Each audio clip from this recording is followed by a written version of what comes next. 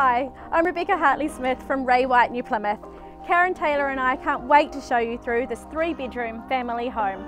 Welcome to 40 Pembroke Street.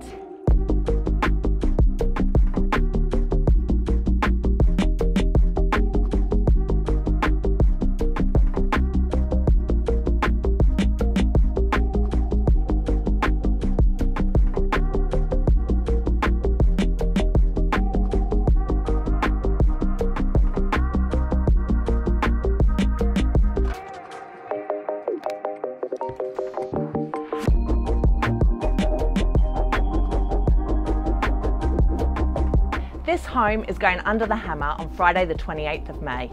Now is the time to call Rebecca and I so that you can be ready to bid and buy on the day.